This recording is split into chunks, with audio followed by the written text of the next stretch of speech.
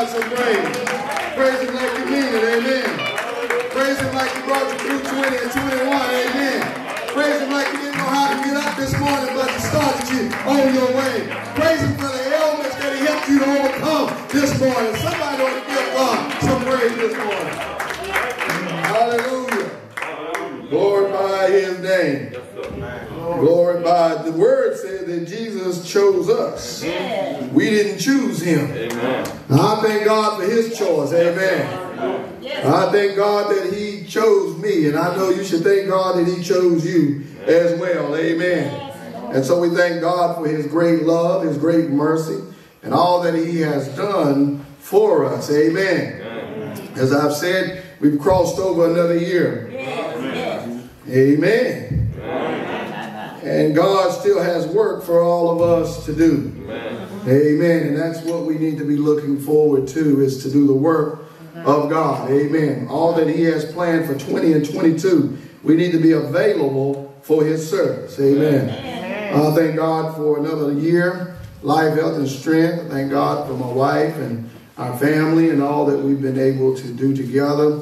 Thank God that we are still here in the midst of Mount Calvary serving. Amen. Uh, and I thank God for each and every one of you. We've had some ups, we've had some downs. Uh, we've had some people to go on home to be with the Lord. Amen. But God is still good. Amen. Amen. And as David said, he can't come back. But I'm going that way. Amen. And so the arrow of time will affect all of us. We're moving in one direction. Amen. And we just have to glorify him. I'm reminded sometimes of uh, one of our forefathers in the scripture, Jacob, mm-hmm. when he was an old man and he got a chance to meet his grandchildren for the first time. And mm-hmm. Joseph, when he was down in Egypt. The Bible says that he was old and he leaned up on his bed. Mm-hmm. And the scripture says he leaned on his staff and he worshiped. That always just tickled my spirit because a man that had lived so long and seen so much, and near the end of his life, he got up on the edge of his bed and he leaned on his staff and he just worshiped. Yes, sir. I'm sure he, he reminded God of all the times that he thought he was done with. Yes, sir. When, when, when, when Joseph had, was gone and he thought he was dead, the Bible says his heart stood still. In other words, it's like he suffered a heart attack. But guess what? God brought him on through that too. Uh, God is good. And sometimes we've got to, even if we're not that old, sometimes we just need to get up on our worshiping cane. Sometimes we just need to get up on our worshiping staff and just lean on our staff and just say, God, I thank you. I thank you that you brought me a mighty long way. I thank you for my dad. I thank you for my mom. I thank you, Lord God, for my spouse, some loved ones, my children. We've had some ups and downs, but God, you've been right there with us. Sometimes we just got to give God the praise. Thank you, Holy Ghost. Thank you, Holy Ghost. Our theme for this year, of course, as I said, is mind skin. Rhymes with wine skin, don't it? Our mind skin, we be in transformation through what? Inspiration. You got to be inspired. God inspires us to do more than we think we can do. Oh, there's been some times I thought maybe, well, might not be able to do this, but God said you're standing in your own way. I've already blessed you to be able to do this. We've got to understand that God has made us conquerors because Jesus Christ has already overcome. We don't have to bow down to anything less. Oh, I hear the Paul I'm pulling down the stronghold, those things that exalt themselves against the knowledge of God. Anything in your life that stands between you and the Lord, you got the authority and power to pull it all down. We need to go on in 2022. But I thank him anyhow for all that he has done, and I'm sure you do the same. Let us take our attention to the book of 2 Samuel, the 15th chapter, 1 through 6, and then we'll go to the 18th chapter, and I'll read 9 through 18. In the 15th chapter of 2 Samuel,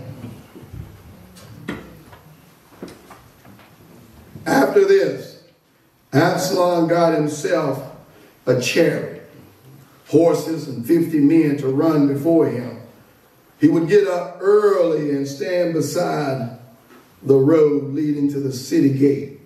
Whenever anyone had a grievance to bring before the king for settlement, Absalom called out to him and asked, What city are you from? If he replied, Your servant is from one of the tribes of Israel, Absalom said to him, Look, your claims are good and right, but the king does not have anyone to listen to you. He added, If only someone would appoint me judge in the land, then anyone who had a grievance or dispute could come to me, and I would make sure he received justice. When a person approached to bow down to him, Absalom reached out his hand, took hold of him, and kissed him. Absalom did this to all the Israelites who came to the king for settlement, for a settlement. So Absalom stole the hearts of the men of Israel. 18, 9. Absalom was riding on his mule when he happened to meet David's soldiers. When the mule went under the tangled branches of a large oak tree, Absalom's head was caught fast in the tree. The mule under him kept going, so he was suspended in midair. One of the men saw him and informed Joab. He said, I just saw Absalom hanging in an oak tree. You just saw him, jo jo Joab explained. Why didn't you strike him to the ground right there? I would have given you 10 silver pieces and a belt. The man replied to Joab, even if I had the weight of a thousand pieces of silver in my hand, I would not raise my hand against the king's son. For we heard the king command you, uh, Abishai and Ittai, protect the young man Absalom for me. If I had jeopardized my own life, and nothing is hidden from the king, you would have abandoned me. Joab said, I'm not going to waste time with you. He then took three spears in his hand and thrust them into Absalom's heart while he was still alive in the old oak tree. And ten young men who were with Joab's armor bearer surrounded Absalom, struck him, and killed him.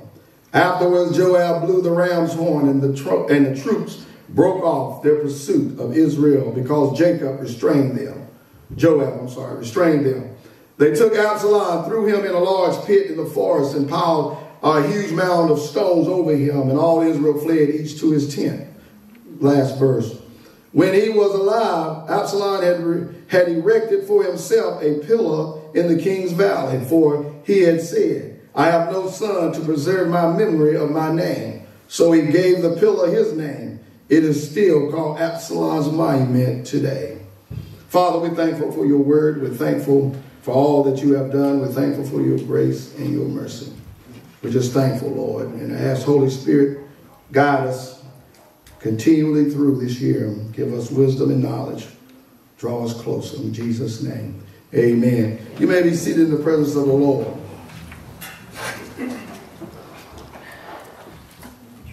For a subject this morning, I would like to preach there are no fakes in God's art gallery. Amen. There are no fakes in God's art gallery. Mm-hmm. Proverbs 30 and 8 will give me a text to read from. Proverbs 30 and 8, just a small portion of it says, Lord, keep falsehood and lies far from me. Keep falsehood and lies far from me. When you understand this from ancient Hebrews and how they thought, what the Proverbs was saying was, keep me from being a fake. Mm-hmm.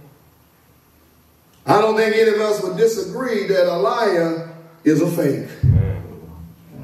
I don't, I don't think we would disagree. The Proverbs want us to understand that there are no fakes in God's art gallery. Mm-hmm. Oh, yeah, we come looking good and sharp and pretty and all it is, but God sees your heart. There just ain't no fakes in God's art gallery. And the Proverbs want us to understand that this should be one of our prayers that we should have, or the most important prayer of our life. God, keep me from being a phony. Keep me from being a fake. Keep me from pretending one thing, projecting one thing, but really I'm something else. Or somebody ought to give him some praise. I find that we pray all kinds of prayers. We pray all the time. We pray for our loved ones. We pray when we need job, need money, need a light bill paid. But how many of us ever pray, Lord, keep me from being a fake? Yeah. I think that in the house of God, it's more important for us to watch how we live our lives and how we present ourselves and making sure that what we are presenting is actually the truth about who we are. Oh, somebody, I ain't gonna get no praise this morning. We see here in Absalom in the 15th chapter of 2 Samuel. Absalom, he had been at odds with his dad. He had actually killed one of his stepbrothers or half brothers, I would say, because his half brother had raped his little sister. And his dad had banished him or, or he fled and, and they talked David into bringing him back. And when David brought him back to the city, Absalom wasn't content with just playing a minor role. He wasn't content with just sitting on the sideline. All right, he came back and he had another plan. And the Bible says that he got 50 men run in front of him. Now, ain't that something? Even though he hadn't been appointed anything, he put up 50 men as if he was some big shot in the, in the community. Oh, come on now. Sometimes in our church life, and how we are in church. Uh, we, we, we find ourselves sometimes acting just like Absalom. We're not the pastor. We're not the deacon. We don't sit on no auxiliaries and no boards, but yet we try to get folk around us to kind of go along with what we got going on. In other words, we're trying to build up our own reputation. Man, I, I say this sometimes. Sometimes in our church life, there are folk that hadn't been elected, that hadn't been appointed, that hadn't got no position in the church. And what they try to create is a second church where they are the pastor, the deacon, and the leadership. You see, when Absalom came back, he wasn't content to sit under one king. He wasn't content to go along with what the king said. He wanted to set up an auxiliary ministry. To set up another kingship. He wanted to be the leader and the person in charge. But in order for him to accomplish his goal, just like all of the, the followers of the devil. They got to mask around as if they're ministers of light, angels of light, as, as Paul says. They've got to mask around and pretend that they one thing so that they can trick a few folk into going along with what they got going on. you see, Absalom, he pretended to be some big shot because of the fact that he was a king's son. He put 50 men in front of him. And the Bible says he'd get up early and stand at the gate. Now, you know, most of us don't like to get up early and do too many things. And that should have been a sign right there when this man, boy was getting up early. He'd stand at the gate. And when he stand at the gate, he'd wait for people to come to, to, to bring their problems. See, the thing about a fake is it feeds into your emotional discontentment. You see, the faith is, is him. And what he's doing is he's waiting to hear the grievance of what a person's God grieving about. And then he's going to go along with it as if he really for it and say, oh yeah, if I was the king or if I was appointed judge, guess what I would do? I would hear your case right away. Now the enemy, when he comes, He's not looking for somebody that's in opposition of him. He's looking for somebody that's discontented about what's on around them. When the enemy comes, the Bible says, how can two walk together unless they in agreement? You see, when the enemies come, he's looking for something in you that is very discontent about something that's going on. And then he's going to feed that hunger you got. He's going to feed it to the point that now you think that he is on your side. How do they they do in church, whenever folk come and let's just say you had a, a problem with one of the officers of the church, mm-hmm. and you go and you tell somebody else that you had a problem with one of the officers of the church. Now they got one or two ways they can respond. They can either tell you, well, pray about it and let God work it out, or they'll say, oh, I know what you mean. Uh, you know when I say I know what you mean, where the road going to then. I know what you mean. I've been feeling the same way. I, have had the same problem. I see exactly what you're talking about. Uh, yeah, we need to find a way to get rid of them or get them out of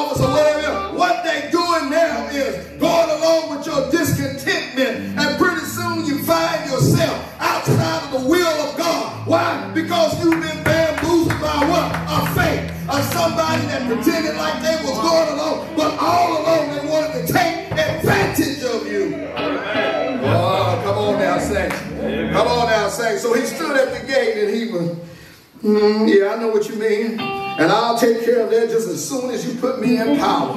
I'll take care of it. Now, if you would have been thinking, You'd have been like, well, you're the king's son. You can take care of it now.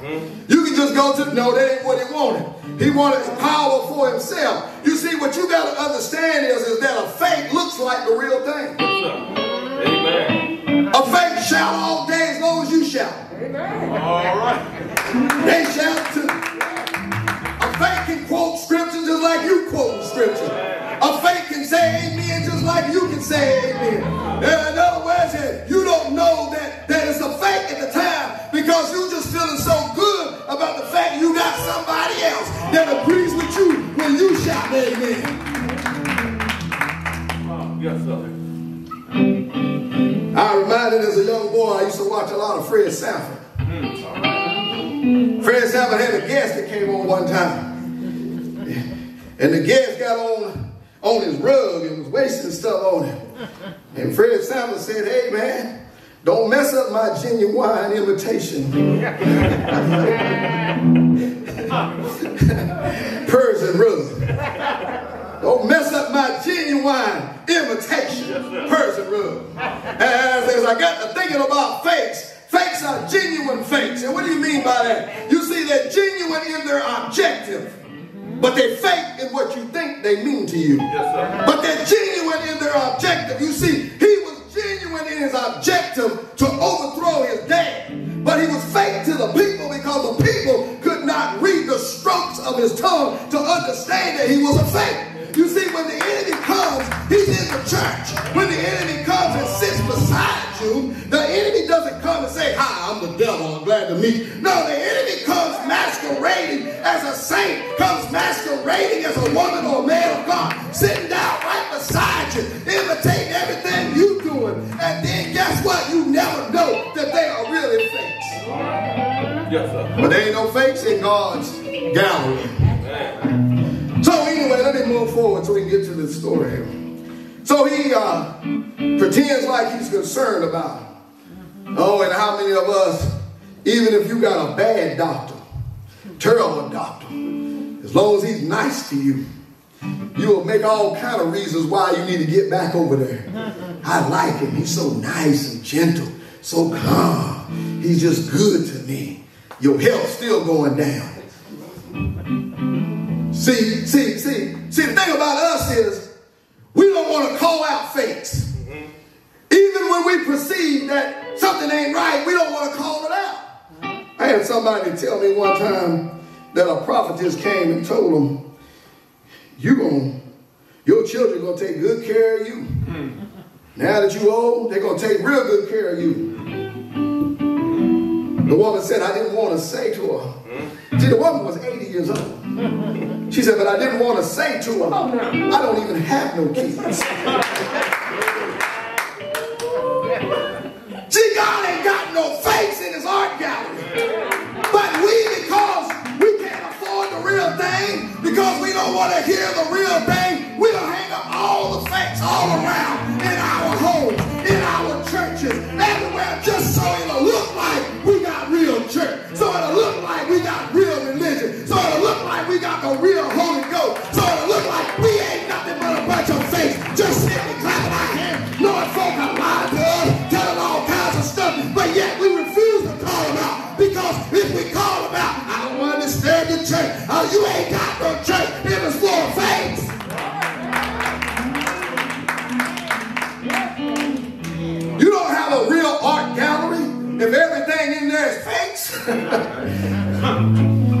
but he was there. And the Bible says, and he stole the people's hearts.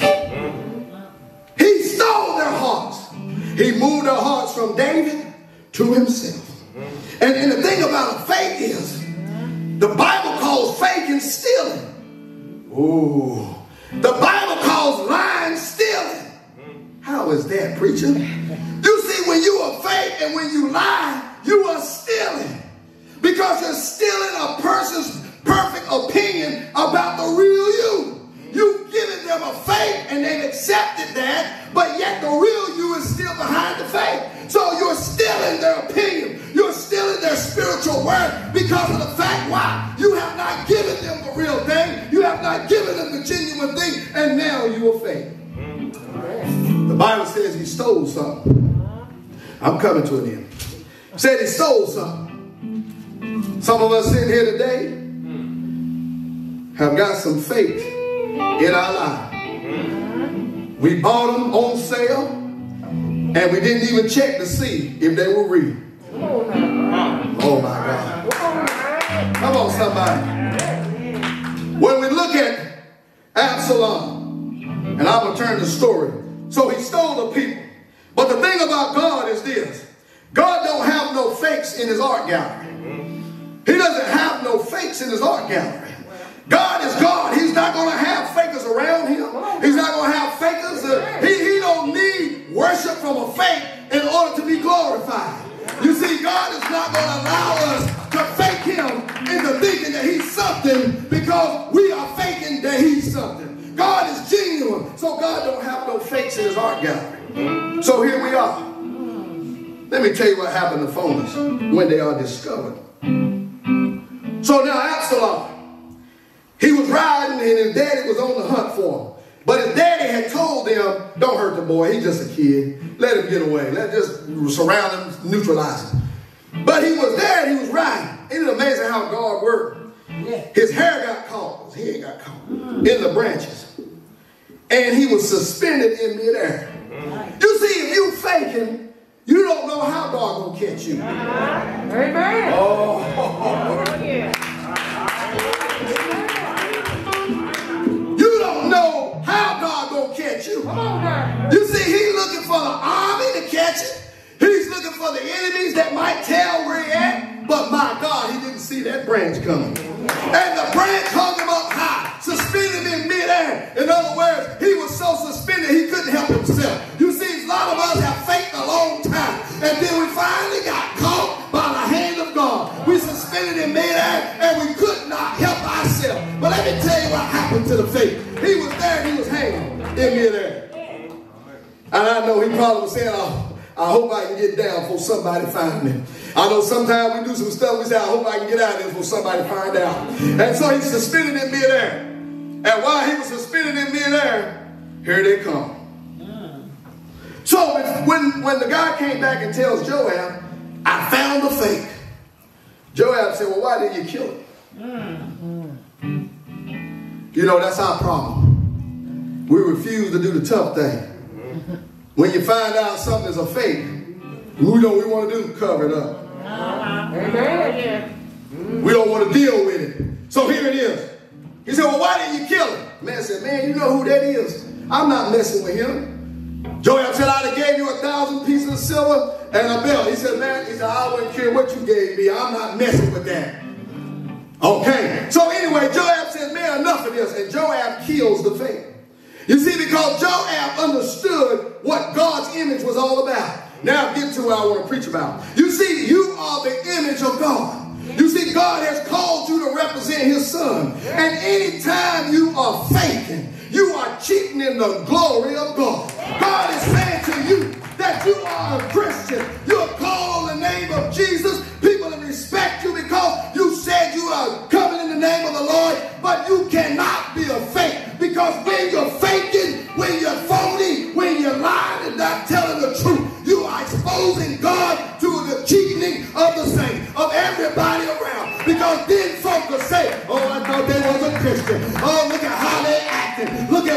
Saying. Look at how they talk. Look at what they looking at. Look at what they watching. You see, God expects us to be just like him.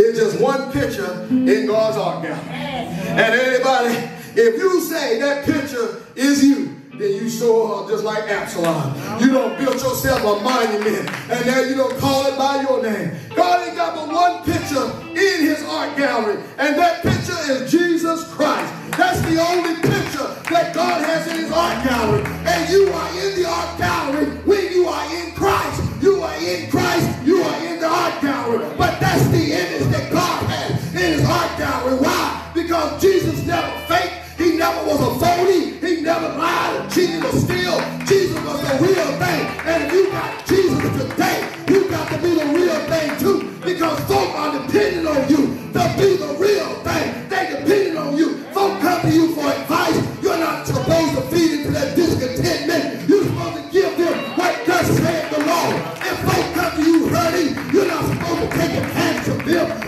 supposed to help heal them, solve their problems, and help them along in Christ. If folk depend on you at the church to handle God's money, you should handle the way that God wants you to handle and do things right above the table, up in the open, where folk can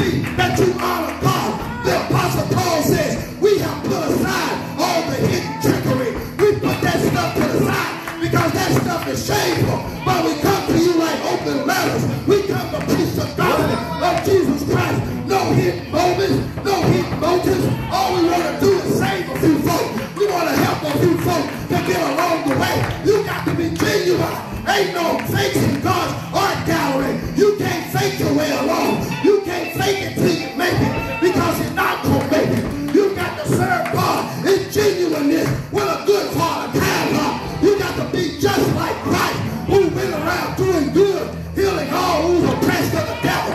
You know the devil enjoys you being a fake.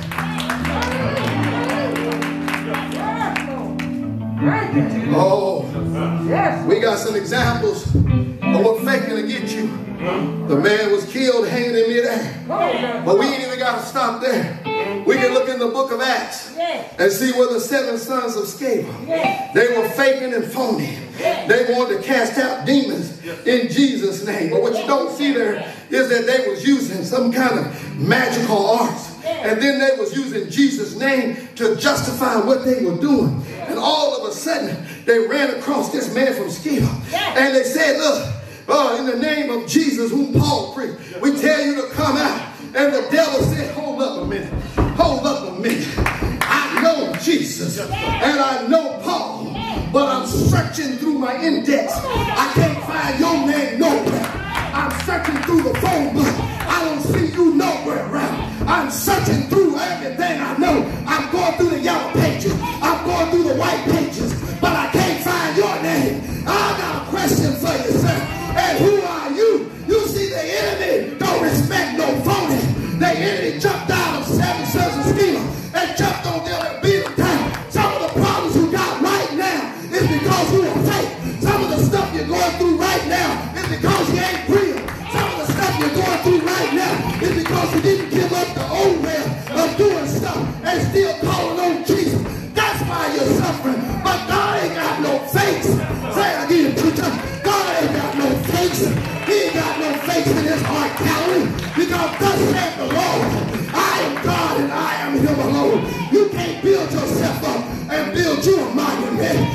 to be humble. Submit yourself to the way